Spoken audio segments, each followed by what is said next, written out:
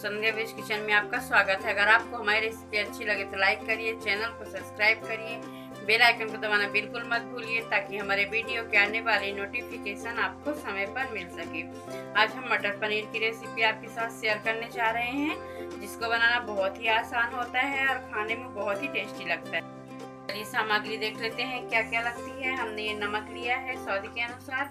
आधा चम्मच हल्दी पाउडर, एक चम्मच लाल मिर्ची पाउडर, ये कश्मीरी लाल मिर्ची पाउडर 300 ग्राम पनीर और ये चार हमने टमाटर काट लिए हैं, थोड़े से दही और ये मटर, धनिया पाउडर, लहसुन और प्याज ले लिए। इस पर हमने पैन रख दिया है और तेल डाल दिया है, थोड़ी देर इसे गर्म होने देंगे। हमारा थोड़ा सा गुदगुना हो गया है, हम इसे ज़्यादा गर्म नहीं करेंगे, इसमें डालेंगे पनीर के टुकड़े।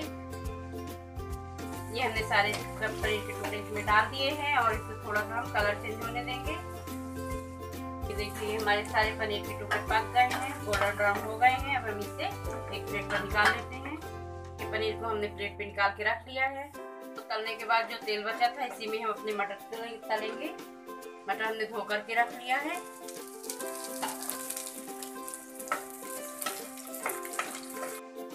तल गए हैं, हम गैस को बंद कर देंगे और एक प्लेट पे से निकाल लेंगे।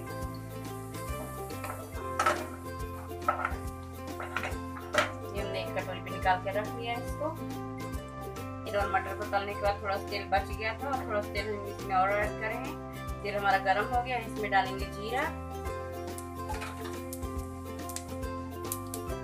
और डाल देंगे प्याज और लहसुन। और इसे थोड़ा सा इसका कलर चेंज होने तक इसे पकाएँगे। इसका कलर चेंज हो गया है। अब यहीं डाल देंगे हम टमाटर और इसे भी भून लेंगे।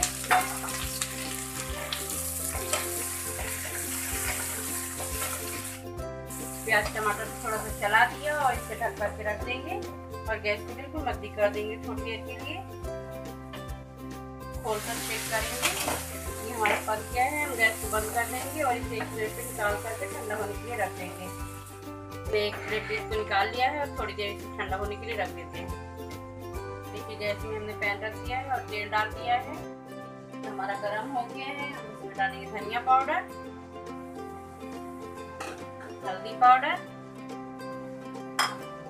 और ये लाल मिर्च का पाउडर। लाल मिर्च एक चम्मच लिया है क्योंकि सूखी है ये।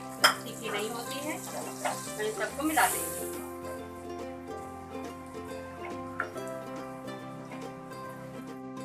आधा चम्मच गरम मसाला गरम मसाला में इंग्रेडिएंट में नहीं दिखा पाई थी।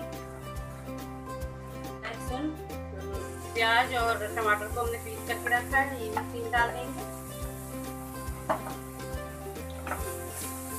और इसे पका लेंगे। देखिए हमारा मसाला पक चुका है अब हम इसमें डालेंगे दही। दही डालते समय गैस को बिल्कुल मद्दी रखना है। ये दही को हमने अच्छे से फेंट लिया है थोड़ा थोड़ा करके डालेंगे और इसे बराबर से मिला देंगे। दही को डालते समय हमेशा गैस को मद्दी ही रखना। दही ऑप्शनल है, अगर आपको पसंद है तो दही डालिए, नहीं पसंद तो स्किप कर सकते हैं। लेकिन दही से इसका स्वाद बहुत अच्छा आता है। और बढ़िया मसाला क्रीमी क्रीमी हो जाता है अच्छा। मसाला अच्छे से पक गया है, दही भी जो डाला था उसको भी चलाते हुए दो मिनट हो गए हैं। ये भी अच्छे से पक गया है, अब हम इसमें डालेंगे, पानी ऐड करेंगे। एक गिलास पानी ऐड किए हैं। आधी गिलास से थोड़ा सा ज़्यादा पानी और ऐड करेंगे। और इसे बराबर से चला देंगे। नमक डालेंगे। नमक आप स्वाद के अनुसार डाल सकते हैं। हम आधा चम्मच से ज़्यादा नमक दिए थोड़ा सा। एक तिहाई चम्मच। ढक देंगे। करके चेक करेंगे। पानी में हमारी अच्छी उबाल आ गई है। देखिए बढ़िया हमारा मसाला पर उबलने लगा है। अब इसमें मटर डाल देंगे। और थोड़ी देर मटर को पकने के लिए छोड़ देंगे। चलिए इसको देख करके चेक करेंगे। ये अच्छी उबाल आ गई है, ये हमारे मटर भी सॉफ्ट हो गए हैं, अच्छी खुशबू आ रही है। अब हम इसमें डालेंगे अपना पनीर। पनीर के टुकड़े डाल देंगे और इसे बराबर से चला देंगे और फिर धीरे करके थोड़ी देर के लिए इसे पकने देंगे ताकि हमारे पनीर अच्छे सॉफ्ट हो जाए। ये देखिए, हम इसे खोल करके चेक करेंगे। पाँच छह मिनट हो गए हैं, ये हमारी सब्ज़ी बिल्कुल पक करके तैयार हो गई है। देखिए, बिल्कुल पक गई है, अच्छी खुशबू आ रही है। खाने में बहुत टेस्टी लगती है। चलिए ये मटर पनीर सर्व कर दिया है। खाने में बहुत ही टेस्टी लगता है। आप भी इस रेसिपी को एक बार ज़रूर ट्राई करिए।